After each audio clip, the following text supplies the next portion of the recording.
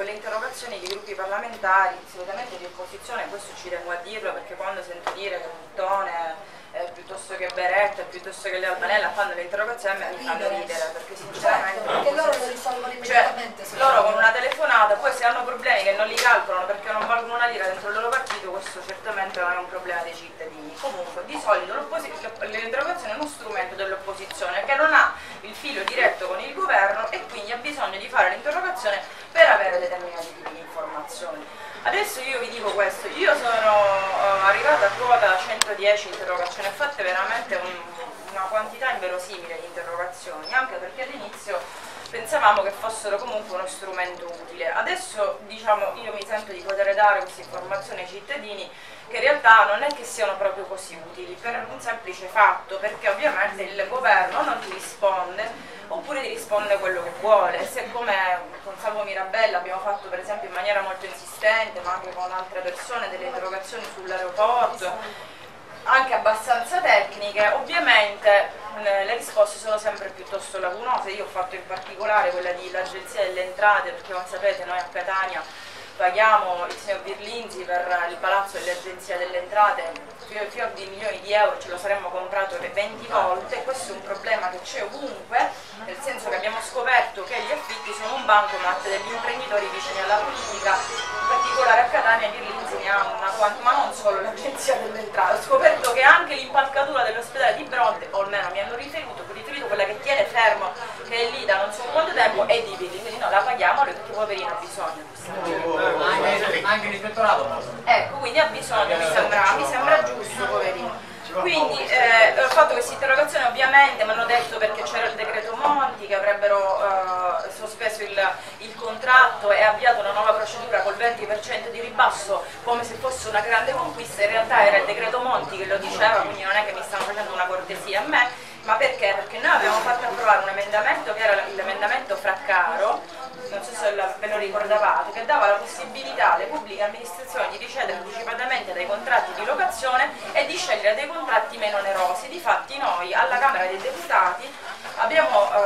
eh, siamo recessi, receduti, come si dice, prima che sbaglio, eh, da un contratto molto oneroso e abbiamo scoperto che c'erano dei locali che, gratis, della, della, Camera dei Deputati, che non c'era bisogno di pagare il palazzinaro Scarpellini che abbiamo pagato per circa 30 milioni di euro all'anno per dal 1996 ce ne compravamo anche lì 40. Questa è l'efficienza della pubblica e della spending review della pubblica amministrazione. Quindi poi diciamo interrogazioni ne ho fatte tante, voglio ricordare quella su Salvatore La Fata, che è stata semplicemente diciamo, più altro un'interrogazione per ricordare questo dramma che abbiamo vissuto come città di Catania, che da quando c'è bianco disgrazie che stanno succedendo veramente un, putiferio. Poi ovviamente la mia materia è la sanità, quindi su alcune carenze riscontrate, tenete conto che la sanità è tutta regionale, dopo la, dopo la riforma del titolo quinto, quindi l'organizzazione della sanità è regionale, una parte del finanziamento della sanità è regionale, una parte del finanziamento della sanità è nazionale. Noi siamo una regione in piano di rientro, ora stiamo uscendo dal piano di rientro, ma comunque finanziamo col massimo dell'aliquota IRPF e IRAP e con la compartecipazione eh, diretta che sono i famosi ticket, quindi noi paghiamo la sanità tre volte sostanzialmente. e questo perché poi i risultati sono quelli che sono sotto gli occhi quindi interrogazione sul porto, sull'aeroporto, sull'aviation service in particolare, perché c'era stata una situazione particolare che anche lì ovviamente ci hanno detto che avrebbero mandato gli ispettori, stiamo facendo, stiamo dicendo, tutto un gerundio che poi non si traduce in nulla di fatto. Eh, io voglio raccontarvi solo due cose precise su quello che ho ottenuto come sanità, che sono due cose diciamo eh, relativamente importanti secondo me, considerato che siamo opposizione. Una è che è passato un emendamento in legge di stabilità che istituisce la dose unica del farmaco. Che cos'è la dose unica del farmaco? Dà la possibilità negli ospedali di somministrare delle terapie croniche anziché tutta la scatola e semplicemente la pilloletta. Voi dite ma che cosa serve? Serve perché in realtà ottieni un risparmio, se lo fai bene e se lo fai in, tutto, in tutta Italia. In realtà con questo emendamento doveva partire un sistema di monitoraggio che ancora stiamo aspettando che parte con una con una esperienza campione per poi estenderlo in tutta Italia. Ci sono realtà dove già esiste, quindi non mi sono inventata niente di nuovo, nel nord già lo fanno in diversi ospedali con, con notevoli risparmi sulla uh, farmacia ospedaliera, ricordando che in, in Sicilia abbiamo una spesa di farmacia ospedaliera che è tra le più alte d'Italia, ma anche di farmacia territoriale. E non solo perché siamo dei grandissimi consumatori di farmaci, perché siamo dei grandissimi consumatori di farmaci, in particolare di antibiotici. E in questo ci colpiamo anche noi cittadini che andiamo dal medico e ci diciamo ma dai chiesto quindi dobbiamo essere anche, a volte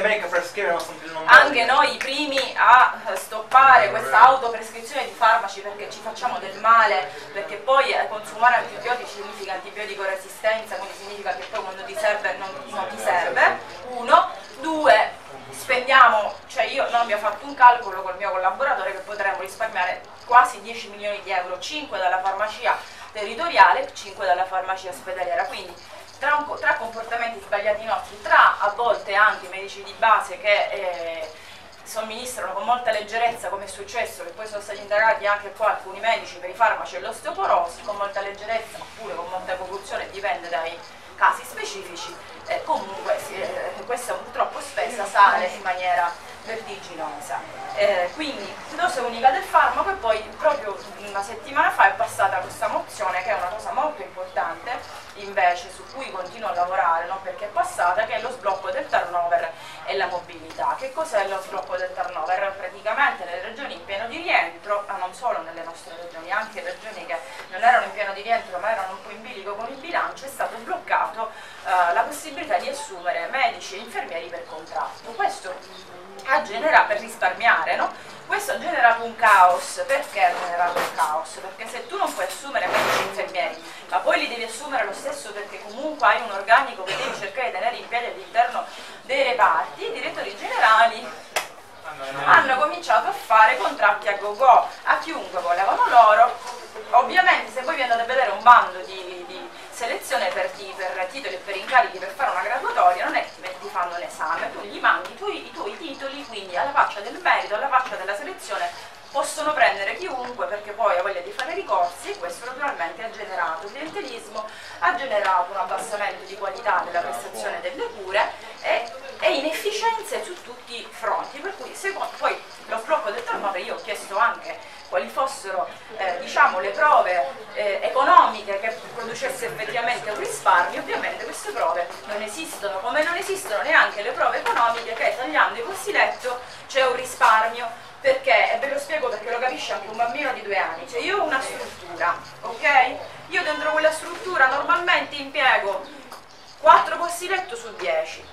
allora arriva Balduzzi e dice no, tu non ne devi impiegare 4 su 10, devi impiegare 3,7, è 1000 per 1000 abitanti. Però la struttura rimane là, l'energia, elettrica, la luce la stessa. L'organico era quello che c'era prima, mi dici, mi dici Ministero dell'Economia e delle Finanze quant'è il risparmio per posto letto che tu mi stai tagliando? Allora, questo banalissimo calcolo, noi ce lo siamo fatti in maniera rudimentale, ma non c'è un atto ufficiale del Ministero della Salute né del Ministero dell'Economia e delle Finanze, magari loro ce l'hanno, ma non ce lo fanno vedere, che mi dice quanto risparmio tagliando questi famosi posti letto. Questo per dirvi diciamo con che cosa abbiamo a che fare. Quindi questo sblocco del turnover è importante perché abbiamo la possibilità e avremo la possibilità anche in Sicilia secondo me non sarà totale, secondo me anche se è stato approvato all'unanimità lo faranno sotto forma di deroga, per cui se ora c'è stata una deroga del 10%, faranno una deroga del 50%, ma comunque perlomeno per le carenze di anestesisti e radiologi, che sono le più grandi carenze che abbiamo nelle nostre strutture ospedaliere, specialmente in Sicilia, avremo una possibilità in più da spenderci. Quindi questa è una bella vittoria del movimento e sono contenta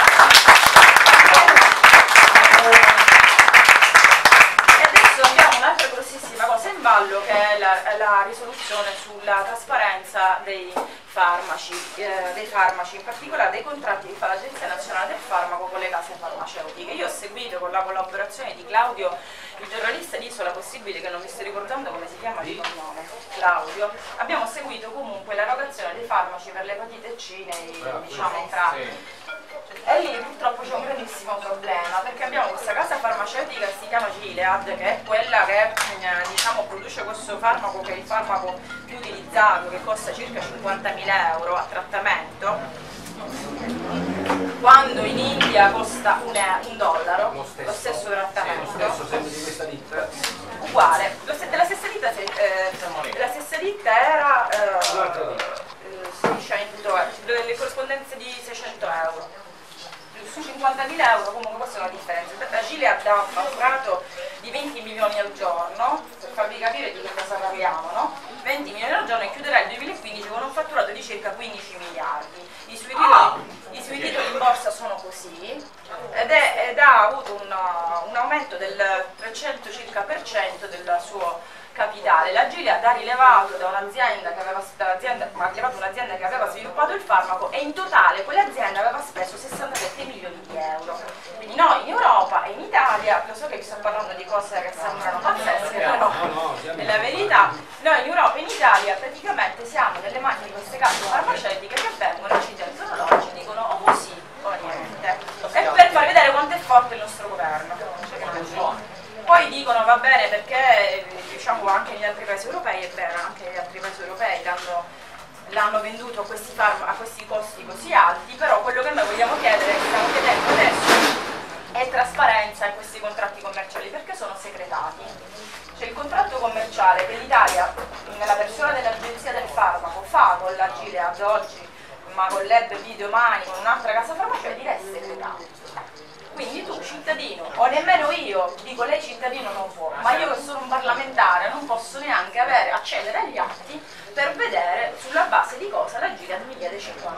euro, perché se mi chiedi 50.000 euro penso di avere il diritto no, di sapere no, sulla base di che cosa me lo stai chiedendo, quanto ti è costato sviluppare quel farmaco, eh, quali sono i trial clinici che hai fatto, c'è tutta una serie di informazioni, quindi stiamo discutendo di una cosa estremamente delicata che secondo me eh, non hanno capito i miei colleghi del PD perché quando gli ho detto ah bello, no, bello,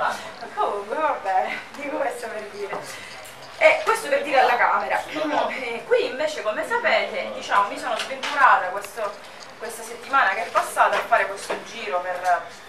per le strutture ospedaliere della provincia di Catania, della, della città diciamo un po' le conosco perché ovviamente essendo dell'ambiente un po' le conosco anche se la realtà come vedete è molto molto veloce nel, nei suoi cambiamenti e, e, certamente il quadro che è emerso è un quadro particolarmente grave, sconfortante perché, perché al di là delle inefficienze dei servizi che vediamo come cittadini, poi diciamo da eh, programmatori, come si dice, della sanità e soprattutto da persone che stanno a Roma quindi vedono con i propri occhi i tagli che si fanno senza guardare in faccia a nessuno, quando poi vieni e vedi come, stati, come vengono spesi i soldi e vedi che per esempio l'ospedale di Bronte, che c'è un pronto soccorso, hanno una barella del 1700, mentre poi vai a Militello Val di Catania, a Militello Val di Catania e c'è un reparto nuovo per pazienti in coma vegetativo chiuso, chiuso, con, le, le, con i lettini nuovi, con, cioè 17 milioni di euro spesi in un ospedale che fa 6.000 accessi al pronto soccorso l'anno, giusto? Allora tu dici, allora tu dici io pago un direttore generale 15.000 euro al mese per avere questo. Me lo faccio io il direttore generale, ce la faccio da sola a fare. Cioè, la programmazione sanitaria in Sicilia non esiste. Non esiste, c'è la sanità a misura di politico. Allora se c'è un politico in quel posto e ti fa... Che poi io vorrei sapere, il politico che ha fatto spendere questi soldi a Sant'Agata di Militello, giusto? Ai suoi cittadini, che cosa gli ha portato? perché poi alla fine non gli ha portato niente. Cioè abbiamo una struttura che vale 17 milioni di euro che verrà trasformata in un ospedale di comunità, ossia una sorta di RSA. 17 milioni pagati da chi? Da noi. Cioè, quindi questi geni che dice fanno queste cose. Poi a Biancavilla abbiamo l'altro genio di politico che ha, fatto, che ha, deciso di fare costruire un nuovo ospedale quando non ce n'era completamente bisogno, perché c'era l'ospedale di Paternò che era sufficiente ed era probabilmente quella la struttura eventualmente da riqualificare, di funzionalizzare tutto quello che volete voi, invece siccome sono dei geni, altri eh, 18 milioni di euro, perché siccome Pantalone paga, Pantalone no, c'è noi, Pantalone paga, allora facciamo Biancavilla. Facciamo Biancavilla. Già inaugurato nel 2000, dopo 15 anni lo chiudono. Giusto? 40 anni per costruire un ospedale, lo inauguri nel 2000, nel 2015 lo chiudi perché ti sei accorto che è sovradimensionato, decidi. Allora, qua la situazione purtroppo sulla sanità è molto complicata e purtroppo la partita è molto grossa perché ci sono, io voglio ricordare il caso dell'ispettore Mulier che noi conosciamo, della polizia, della mobile di Catania, che indagando su situazioni eh, corruttive, sono dimesse, su situazioni corruttive all'interno degli ospedali di Catania dell'ASPE di Catania, in particolare su farmaci e su prescrizioni anomale, cosa è successo? Che lei l'hanno mobilizzata, adesso se ne sta andando in Friuli Venezia Giulia e quelli che, che prima corrompevano e rubavano sono ancora lì a corrompere e a rubare. Quindi quando parliamo di sanità per dirvi semplicemente che saltano le teste convenienti, quindi io normalmente cerco di muovermi di chi avete cerco, cerco di muovermi in maniera abbastanza uh, attenta. Poi sul caso Nicole l'unico aggiornamento che vi voglio dare è che ovviamente abbiamo fatto più di interrogazioni, ho fatto il question time, eh, la, la, casa di cura Gibbino solo per l'ostetricia ha avuto una sospensione con deroga perché non avevano prodotto gli accertamenti che dovevano produrre entro il termine previsto, il 15 di luglio è il termine ultimo che ha la Gibbino, che è del senatore Vittorino, eh, diciamo collega di Unza al Senato, e, eh, praticamente eh, è stata sospesa per quanto riguarda l'ostetricia per tutto il resto noi dovete sapere che noi ovviamente a Catania abbiamo un primato sulle case di cura cioè siamo una delle province che ha più della Lombardia più delle province che cioè, cioè, fai 100 metri c'è una casa di cura privata accreditata che prende soldi